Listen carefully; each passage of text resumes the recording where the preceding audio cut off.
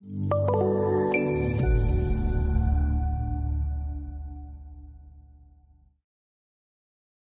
let's begin exercise number three now. In exercise number three, we're going to learn how to modify the corridor. More specifically, we're going to take a look at how we can modify the, the base pavement thickness here, and also how we can modify and vary the, the shoulder widths. So first we're going to focus on modifying the base pavement thickness. How can we change this? Right now this is set for 6 inches or 0.5 feet by default. We want to change that to be 1 foot.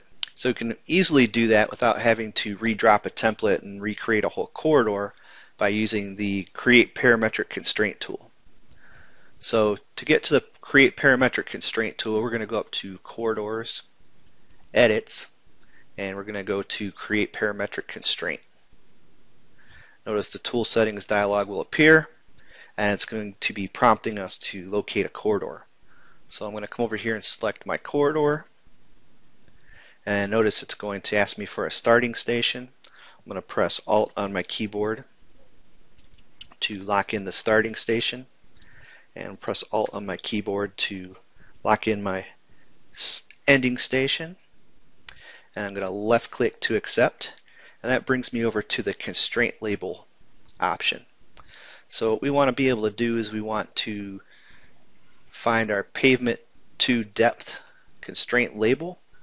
And right now the default value for that particular constraint label is 6 inches or 0.5 feet. So we want to change that to negative 1. So we're going to make that negative 1 or 1 foot and then we're going to left click to accept.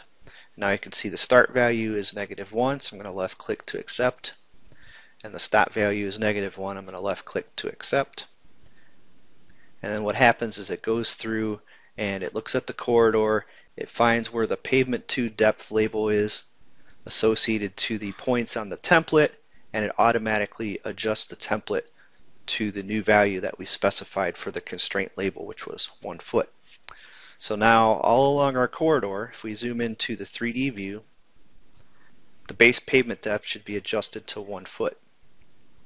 One other thing to point out on the cross section is the little green boxes along the bottom of the cross section. The green boxes indicate the locations where the pavement base depth was adjusted. Okay, now that we've created our parametric constraints and created our new values for our base pavement layer, I want to show you how you can review to make sure that you enter the values correctly. So I'm going to go up to a new tool that's called Corridor Objects.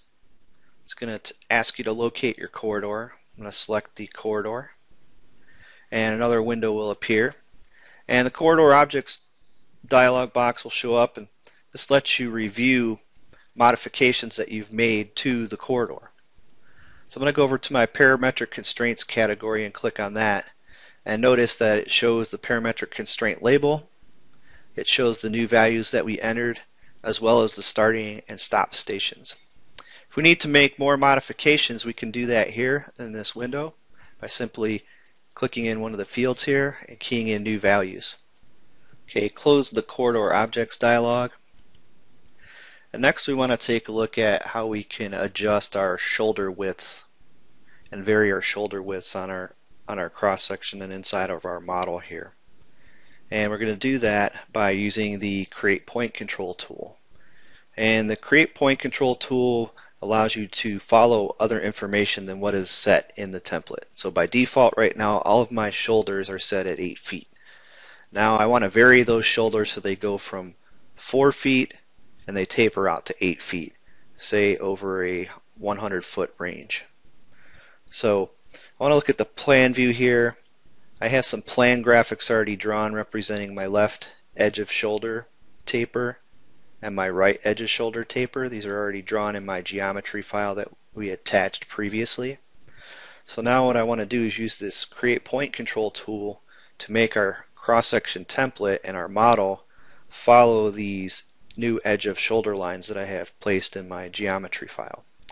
So I'm going to go up to corridors and locate the create point control tool. And it's going to be, to be prompting me to locate my corridor. So I'm going to select my corridor object. I'll lock in the start station. So I'm just going to press the Alt key on my keyboard to lock in the start station. And then I just want this to taper over to 51 plus 00. So I'm just going to key in 51 plus 00 for my ending station and press enter on my keyboard to lock that in. And for the description, I'm going to key in right EOS control. And then from here, I'm going to left click to accept. And then now we want to locate the point that we're going to be controlling. Now, this is important because we need to know which point are we actually going to be controlling. And what we can do is we can either select a plan view graphic here from the corridor representing our edge of shoulder on the right side, or we can pick it from the cross-sectional view over here by hovering our cursor over that EOS right point in the cross-sectional view. I'm just going to select it from the plan view and I'm going to left click to accept and it's going to be asking me for the mode. We're just going to keep it set for horizontal mode because we're just moving it horizontally. So I'm going to left click to accept that. The control type is going to be linear geometry. That's because I already have some geometry drawn out here already. So we're going to keep that set for linear geometry. I'm going to left click to accept that. And then it says locate the plan or profile element. So this is the element we want it to follow now. So we want that edge of shoulder right, which is represented by this line here in the file in our plan view. We want it now to move and follow this this new geometry that we've created for our right edge of shoulder in our geometry file. So I'm going to select that. Use a secondary alignment. I'm going to set this to yes. And we're going to left click to accept. Priority number one. Left click to accept. Start offset. We're going to leave that set for zero. Left click to accept. Stop offset. We'll leave that set to zero. Left click to accept. And now you'll see the model updates. There's also a magenta square that appears on the cross section indicating the point that's being point controlled as well. Also notice in the 3D view that the shoulder was tapered inwards following our graphic alignment in our plan view. So now let's do the same thing for the left hand side or the left shoulder on this side of the corridor. So again I'm going to come in and I'm going to locate my corridor by selecting a corridor object boundary. We're going to lock in the start station. Press Alt on the keyboard to lock in the start station. And for the ending station again, I'm just going to key in 51 plus 00. Press enter on the keyboard to lock that in.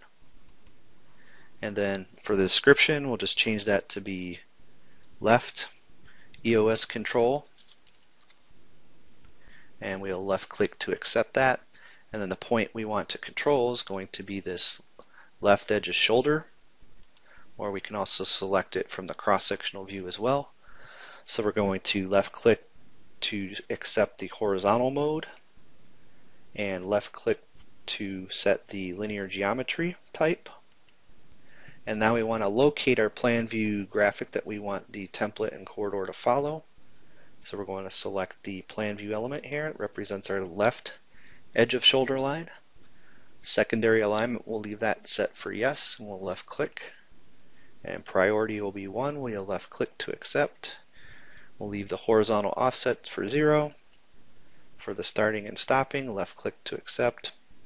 And then now the left edge of shoulder line is now tapered and follows our graphic element that we had drawn in our geometry file. And notice once again we have a purple or magenta square indicating that the left edge of shoulder point is now being controlled by with a point control. So let's review that we've created the point controls correctly. Upon first inspection it appears that they have been created correctly, but if we need to modify them or we want to review them, we can easily use the corridor objects tool to review the point controls and make modifications if necessary. So I'm going to go back up to the corridor objects tool and select our corridor. I'm going to go over to the point control category and you can see the two point controls that we've created. It gives us all the information about the point controls. We can expand the dialog here a little bit. Over here we have the left edge of shoulder point control shows us all the uh, properties of that point control. And then over here we have the right edge of shoulder point control and all the properties for that. So if we need to make any kind of adjustments, we can uh, go into any of the fields in here and change them. If we need to add another point control, we can also go up to the add new point control button as well. And we can also delete point controls from this dialog. And once you're done reviewing, you can just close the corridor objects dialog.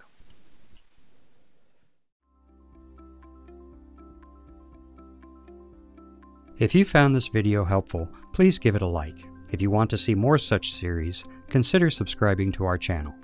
Thank you and see you next time.